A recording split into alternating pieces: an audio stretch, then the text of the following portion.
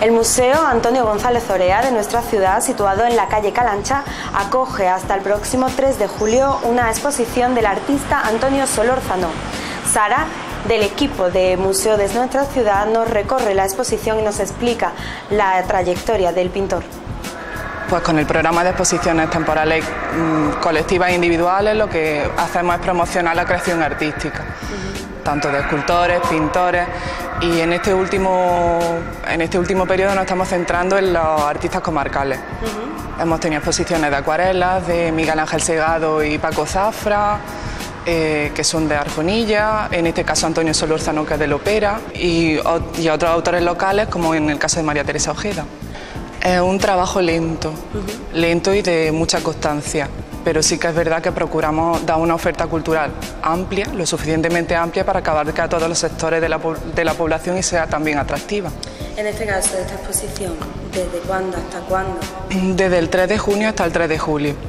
¿Y cómo se, en qué horario se puede visitar para decírselo? Por la mañana, de 11, miércoles a viernes, de 11 y media a 1 y media, y los sábados y los domingos de 10 a 12 de la mañana. Pues Antonio, esta exposición habla, se plantea la trayectoria pictórica de Antonio que es bastante larga. Eh, estos, estos, cuadros son, estas obras son de, su inicio y están inspiradas en, en, el norte, en su estancia en el norte. Él recala muchas veces en Galicia, Asturias y son imágenes, eh, según Antonio me cuenta que son imágenes que le han inspirado a él para, para su creación. Como veis, roza un poco la abstracción, son composiciones que tienen mucho de geométrico y, son muy personales también. Eh, Antonio tiene una personalidad eh, muy definida como pintor, se reconoce. En este caso, por ejemplo, fijaros que, se desconstruye un poco la realidad. Se nota perfectamente qué es lo que es, que es un violín, pero sin embargo está totalmente deconstruido. Y sí, está inspirado en un acontecimiento musical. Aquí lo mismo, vemos un paisaje, una escena de la vida cotidiana y también vemos figuras geométricas. Está, es una, reconocible, pero a su vez tiene mucho de abstracción. Esta obra que se llama Carnaval, pues también muestra el... En esta obra también es mm, el detalle del color, el tratamiento del color, es interesante. Es un paisaje urbano, una escena de, de una ciudad.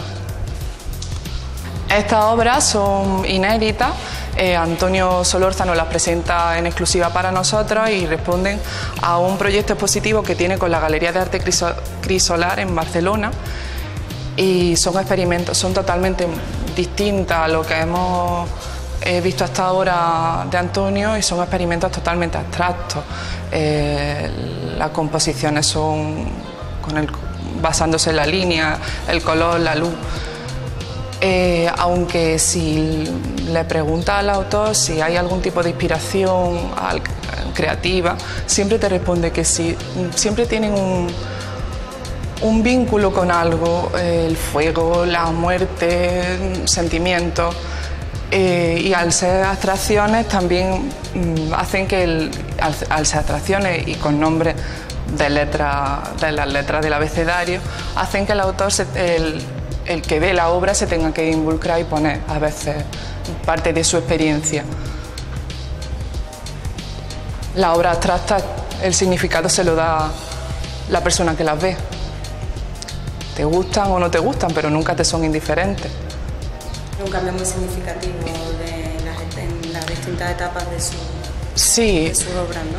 Eh, la abstracción es una evolución a la que todos los pintores revierten, porque es un trabajo, aunque a nosotros aparentemente nos pueda parecer más simple que, un, que el arte figurativo, sin embargo, es muy, mucho más complejo. Crear una obra a partir de las luces, del color, de la forma geométrica y que solo primen eso. Tienes que tener, las obras tienen que tener un equilibrio compositivo que eso es lo que hace que la persona que las ve las valore y vea si le gustan o no.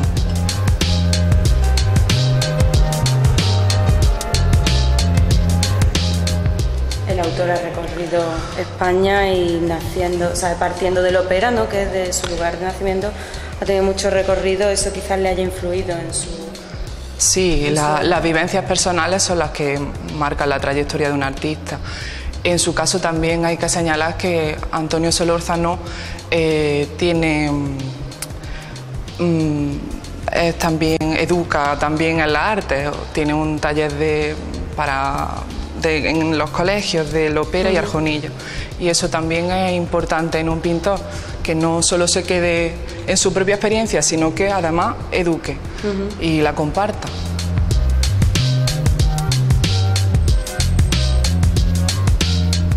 Les recordamos que este y otros reportajes los pueden encontrar siempre en nuestras redes sociales. Muchas gracias.